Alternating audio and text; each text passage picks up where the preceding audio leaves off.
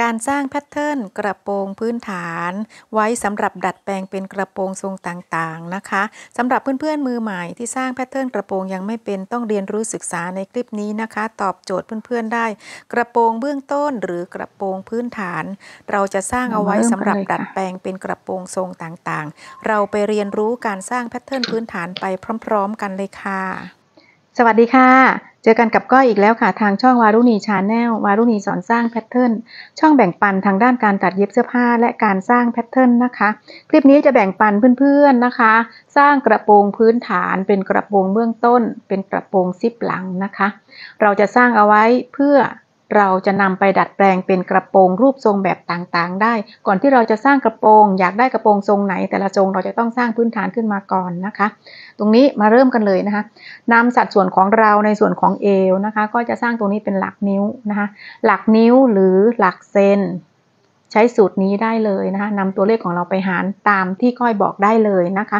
การการหารนะคะเพื่อนๆค่ะเอว หน้าท้อง สะโพก หารสี่ ตรงนี้เป็นสูตรเลยนะคะ เอวหน้าท้องสะโพกหารสี่เลยค่ะ เอวหารสี่ได้เท่าไหร่จดตัวเลขเอาไว้นะคะ หน้าท้องหารสี่ได้เท่าไหร่จดตัวเลขเอาไว้ สะโพกหารสี่ได้เท่าไหร่จดตัวเลขเอาไว้นะคะ การที่เราจะสร้างแพทเทิร์นส่วนตัวก้อยนะคะ เวลาสร้างแพทเทิร์นตัดกระโปรงให้ลูกค้า ก้อยจะไม่บวกในส่วนของสะโพกนะคะ ถ้าเพื่อนๆท่านไหน อยากได้กระโปรงทรงหลวมตัวหลวมนิดนึง เพื่อนๆก็บวกไปที่ 1 นิ้วหรือ 2 เซน3 เซนประมาณนี้นะคะ แต่ส่วนตัวก้อยจะไม่บวกเลยเพราะก้อยเป็นคนวัดตัวเองก็จะรู้ว่าประมาณไหน เวลาบวกแล้วมันจะเหลือสะโพกเป็นปีก ตรงนี้แล้วแต่คนนะคะก้อยไปต่อนะ เราได้สัดส่วนที่เราหารเสร็จแล้วเรียบร้อยนะคะ ตัวนี้จะสร้างชิ้นหน้าและชิ้นหลัง เป็นกระโปรงซิปหลังนะเรามาดูว่าเราจะเก็บแบบไหน เทคนิคการเก็บในส่วนของการสร้างแพทเทิร์นนะคะ การที่เราจะสร้างแพทเทิร์นสะโพกหาร 2 ตีกรอบกระโปรงไว้ก่อนนะคะ ถ้าเพื่อนๆอยากได้กระโปรงสะโพกบวกหนึ่งนะคะบวกหนึ่งนิ้ว หรือบวกประมาณ 3 เซนประมาณนี้ บวกแล้วค่อยหาร 2 นะคะ บวกแล้วค่อยหารสองคือการตีกรอบกระโปรงนะคะ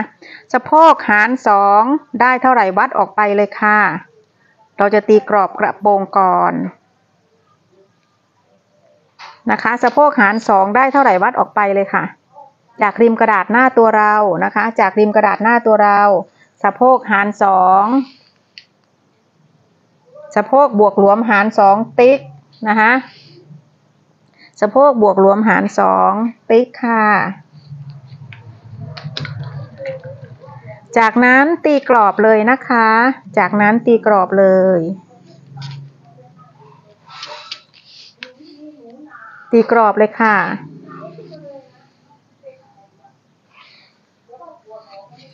ตีกรอบแบบนี้นะคะ หลังจากนั้นนะคะ จากขวามือเราที่เราถือ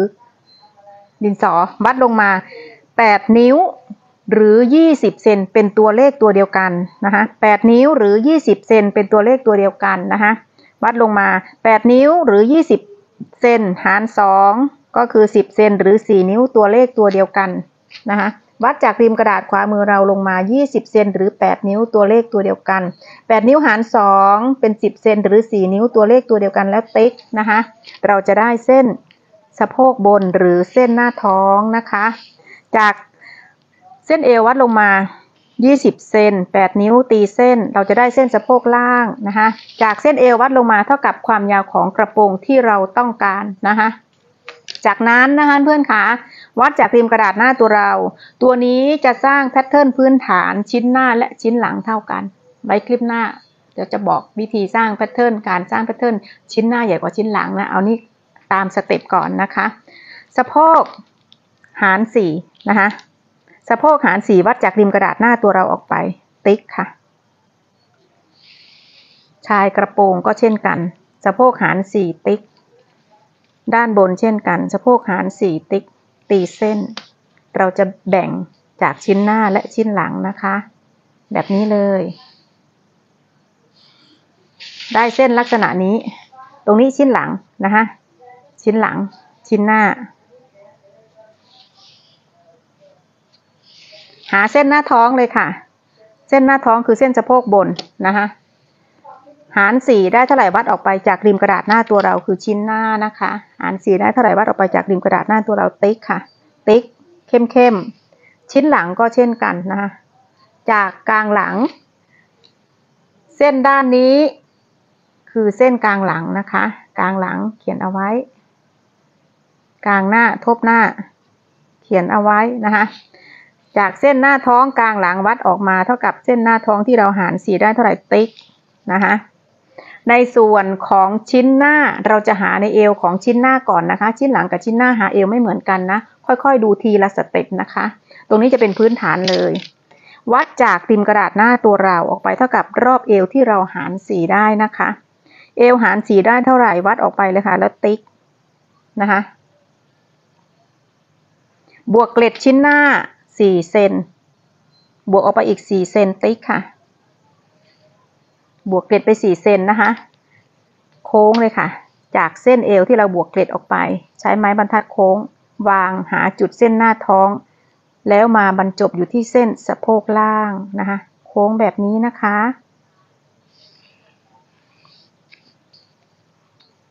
ชิ้นหน้า หลังจากนั้นเราจะหาในส่วนของช่องไฟของเกล็ดก็คือหาร 3 จากจุดที่เราโค้งเอวเสร็จแล้วเรียบร้อย หากลางหน้าวัดว่าได้กี่เซนเราจะหาร 3 นะคะ หาร 3 เลยค่ะ นี่ค่ะ ติ๊ก หาร 3 นะคะ ในส่วนของเส้นเกล็ดที่อยู่ข้างของสะโพกนะคะ เกล็ดระบวกไป 4 เซนถูกต้องไหมคะ เราจะแบ่ง 2 เกล็ดข้างและเท่า ๆกันก็คือเกล็ดละ 2 เซน จากเกล็ดข้างสะโพกของเรา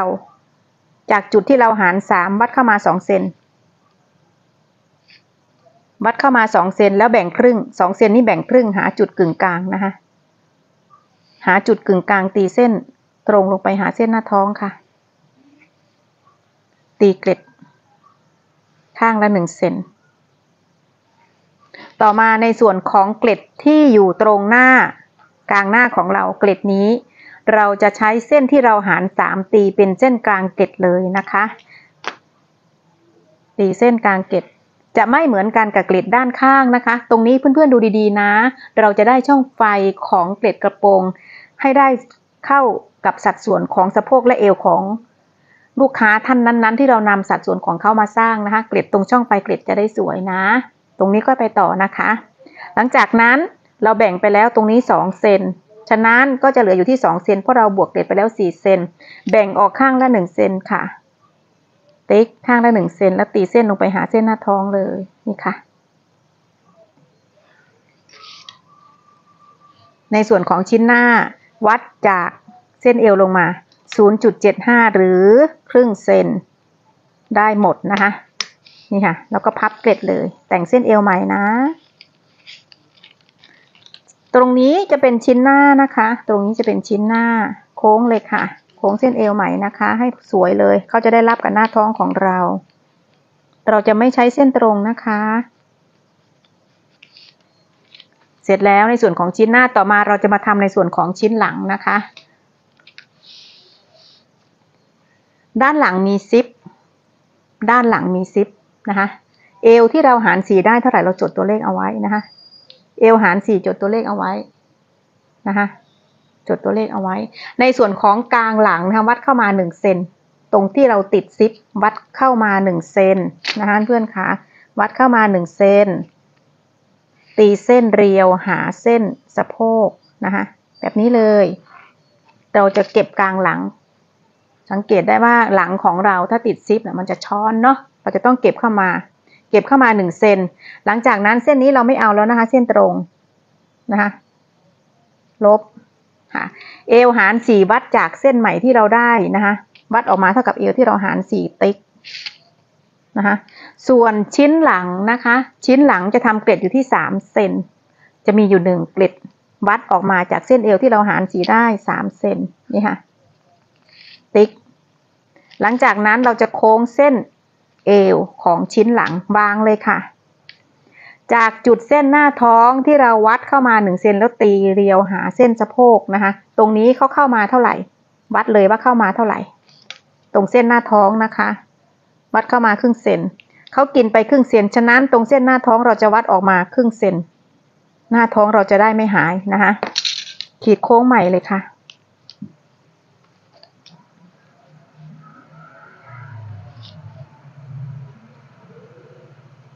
วางให้ balance กันนะคะ นี่เลย หลังจากนั้นเราจะมาหาในส่วนของเกล็ดชิ้นหลังนะคะส่วนเอวที่เราโค้งเสร็จแล้วเรียบร้อยกับเส้นเอว ที่เราตีกลางหลังเข้ามาได้เส้นไหมตรงนี้เราจะหารสองแบ่งครึ่งให้เท่าเท่ากันนะคะจากจุดนี้มาจุดนี้วัดว่าได้เท่าไหร่ เราจะแบ่งครึ่งให้ได้เท่าเท่ากันนี่ค่ะ แล้วตีเส้นตรงลงไปนะคะแบบนี้ จากเส้นสะโพกบนวัดลงมาสองเซนนะคะจากเส้นสะโพกบนวัดลงมาประมาณสองถึงสามเซนนะคะประมาณนี้ เกล็ดที่เราบวกไปด้านหลังสามเซนเราจะแบ่งออกข้างละเท่า ๆกันก็คือข้างละหนึ่งเซนครึ่งนะคะแล้วตีเส้น ตรงนี้จะเป็นกระโปรงชิ้นหลัง เพื่อนๆมือใหม่จะถามละทำไมไม่หารสามเหมือนชิ้นชิ้นหน้า ตรงนี้ที่เราแบ่งครึ่งเท่า ๆกันก็คือชิ้นหลังนะ่ะเขาจะต่อกลางหลัง ต่อกลางหลังติดซิปช่องไฟเราแบ่งครึ่งสองเราหารสองทุกอย่างน่ะมันจะเท่ากัน ช่องไฟจะเท่ากัน ชิ้นหน้านะคะ ที่เราหารสามเพราะว่าชิ้นหน้าเขาเป็นทบหน้า ถ้าเราแบ่งครึ่งแล้วทำเกล็ดมันไม่ balance กัน ตรงนี้เพื่อนๆไม่งงนะคะ เฉพาะชิ้นหลังนะคะ แบ่งครึ่งเท่า ๆ กันในส่วนของการหาเกล็ดจากนั้นเราก็จะมาแต่งในส่วนของเกล็ดเอวนะคะ แต่งเส้น ในส่วนของกลางหลังตรงนี้วัดลงมาหนึ่งเซนหรือประมาณ 0.75 ได้หมดนะคะ โค้งแต่งเส้นเอวใหม่ค่ะ นี่ก็จะเป็นกระโปรงพื้นฐานเบื้องต้น ซิปหลังก็จะอยู่ที่ประมาณเส้นสะโพก 8 นิ้วนะคะตรงซิปหลัง ต่อมาในส่วนของการผ่า ตรงนี้จะเป็นกระโปรงทรงตรง ถ้าเราใช้แบบนี้คือเสร็จแล้วเรานำไปตัดกระโปรงทรงตรงได้เลยนะคะ ในการตัดกระโปรงทรงตรง เราจะต้องมีการผ่าหลังผ่าข้างแล้วแต่เรานะคะ ต่อมา ถ้าเราจะทำเป็นกระโปรงสอบ ถ้าเราจะทำเป็นกระโปรงสอบ เราก็ไปดัดแปลงของกระโปรงตรงนี้ในส่วนของชายกระโปรงนะคะ การเก็บปลายสอบของกระโปรงนะคะ ตรงข้างตรงนี้เป็นเส้นตรงแล้วนะ เราวัดปลายสอบเข้ามา 3 เซนค่ะ ข้างละ 3 เซน ชิ้นหน้า 3 เซน ชิ้นหลัง 3 เซน ก่อนที่เราจะตีปลายสอบนะคะ วัดลงมาสำหรับคนที่หุ่นปกติทั่วไปหน้าขาไม่ใหญ่วัดลงมาประมาณ 5 เซน ประมาณนี้นะคะ เราตีปลายสอบหาชายเลยค่ะ โค้งเลยนะคะให้ balance กับเส้นสะโพกแบบนี้นะ นี่ค่ะ เอาเส้นนำไว้ก่อนนะคะ วางเลยค่ะ จากเส้นเอวหาเส้นสะโพกตรงไม้บรรทัดโค้งของเรานี่ค่ะ เขาอยู่ระดับของเขาอยู่แล้วเนาะนี่ค่ะ นี่ค่ะ เราก็แค่ร่างเป็นแนวเอาไว้แค่นี้เอง แล้วตีตรงเลยค่ะ ตีตรงหาชายกระโปรง คือเราจะได้กระโปรงสอบนะคะ เราจะได้กระโปรงสอบ นี่ค่ะ อันนี้คือการดัดแปลงกระโปรงแล้วนะคะ คือการดัดแปลงของกระโปรง ต่อมาเราอยากได้ทรง A เราจะทำอย่างไร ทรง A แบบบานไม่มาก เราไม่จำเป็นต้องปิดเกล็ดนะ ทรง A ข้างอามาดูวิธีทำนะ ตรงนี้เส้นดินสอนี่คือ เส้น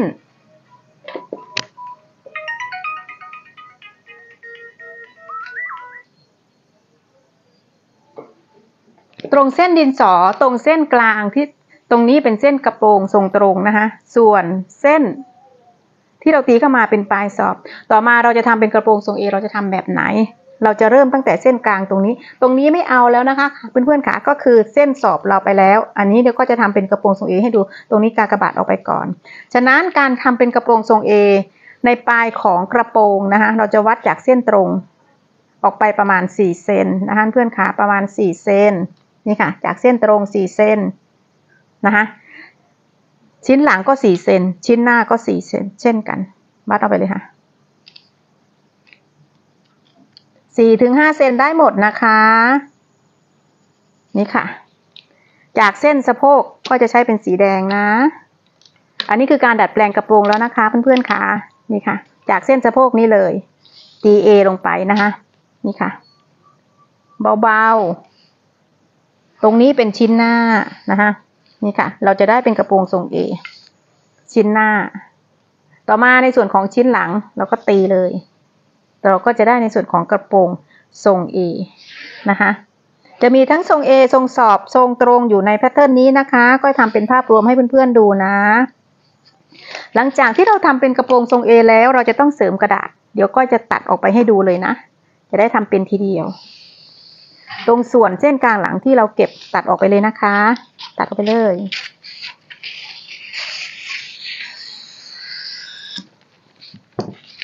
เสริมกระดาษในส่วนของทรง A ด้านข้าง เพราะว่าเราไฟกันนะ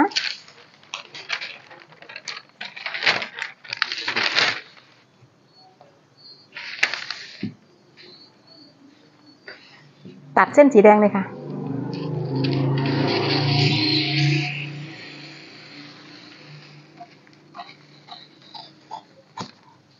เสริม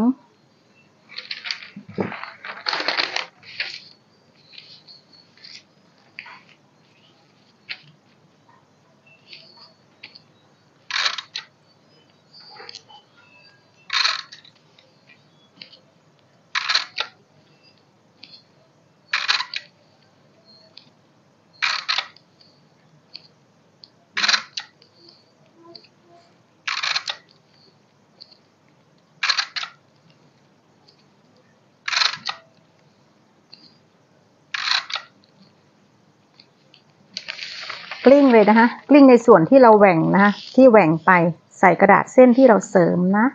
นี่ค่ะ กลิ้งออกไปเลยค่ะ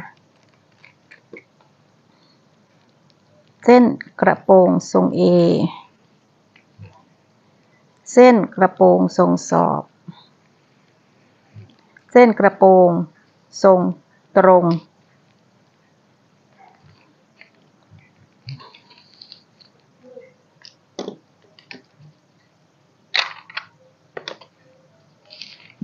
ขออนุญาตตัดนะคะ จะได้ทำเป็นรูปเป็นร่างให้เพื่อนๆได้ดูเลยจะได้ไม่งงกันนะคะไหนๆทำแล้วเอาให้เป็นนี่ค่ะ เส้นใหม่ ตรงนี้เป็นทรง A นะคะ เป็นทรง A เส้นด้านนี้ที่เราขีดตรงคือกระโปรงทรงตรงที่เราร่างขึ้นมาตอนแรกนะคะ กระโปรงปลายสอบนะคะ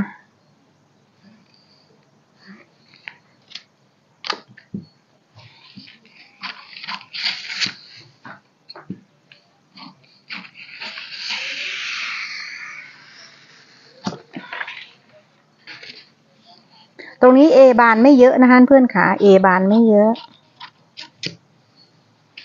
ตัดแต่งในส่วนของเอว ชิ้นหน้าและชิ้นหลังนะคะ นี่ค่ะ แพทเทิร์นตัวนี้นะคะเพื่อนขาตัดกระโปรงได้ทั้งหมดสามทรงนะคะทรงสอบ ทรงตรงและทรง A ในการทำกระโปรงทรง A ที่เราตีปลายบานออกไปนะคะ ตรงชายกระโปรงเราจะต้องเก็บขึ้นนะคะ0.5ทำไมตัวนี้ต้องจุดเก็บ 0.5 คือบานไม่เยอะ ถ้าบานเยอะเราต้องเก็บเยอะนะคะ ถ้าเราไม่เก็บเวลาเราต่อชายกระโปรงเขาจะเป็นมุมแหลมแบบนี้ ในส่วนของทรง A เก็บเข้ามา 0.5 นะประมาณครึ่งเซนนะคะ เก็บไม่เยอะหรอกเพราะว่าเขาบานไม่เยอะนะ ถ้าเราบานเยอะเราต้องเก็บเยอะนะคะเพื่อนขาในส่วนของปลายกระโปรงทรง A นะคะ เก็บเข้าขึ้นไป เวลาเราไปตัดเราก็กิ้งเอาเส้นที่เราเก็บใหม่นะนี่ค่ะ ในการทำของกระโปรงทรงสอบทรงตรง นะคะ ตรงนี้เป็นทรง A นะคะ เส้นด้านในก็จะเป็นทรงตรง นี่ค่ะ เป็นทรงตรง ทรงสอบสามเส้นเลยนะคะ ทรง A ทรงตรง ทรงสอบนะคะ ทรง A นะคะ ทรงตรง ทรงสอบนะคะ การที่เราจะตัดกระเป็นกระโปรงทรงสอบจะต้องผ่าหลังนะคะ การผ่าหลังเราจะผ่า กี่มากน้อยมันขึ้นอยู่กับความยาวของกระโปรง ขึ้นอยู่กับความยาวของกระโปรง ให้เรามองตรงจุดของเส้นสะโพกล่างเอาไว้คือเส้นสะโพกนะคะนี่ตรงนี้เลยอ่าวัดลงมาประมาณเลยนะคะประมาณ เราจะได้เดินได้สะดวกถ้าเป็นกระโปรงยาวนะเพื่อนคะเนี่ยวัดลงมาประมาณ 8 นิ้วแล้วผ่าได้เลย ถ้ากระโปรงยาวเราเดินได้สะดวกสะดวก อย่าลืมว่าสะโพกเราอยู่ตรงนี้นะคะ เราผ่ากี่มากน้อยวัดลงมาประมาณ 8 นิ้วก็คือเริ่มผ่าได้เลยนะคะเพื่อนขาเป็นกระโปรงยาวเราจะได้เดินสะดวกหน่อย หรือเราจะผ่าข้างก็คือดูความเหมาะสมตรงเส้นสะโพกนะคะ จะขับผ่าสูงผ่ามากมันขึ้นอยู่กับเรานะ เสร็จแล้วนะคะเพื่อนขาวิธีสร้างแพทเทิร์นกระโปรงพื้นฐานนะคะไว้ดัดแปลงทำเป็นกระโปรงทรงต่างๆได้นะคะ หวังว่าคลิปที่ก้อยทำคงจะเป็นประโยชน์นะคะ กับเพื่อนๆไม่มากก็น้อยนะคะ เจอกันใหม่คลิปหน้า สวัสดีค่ะ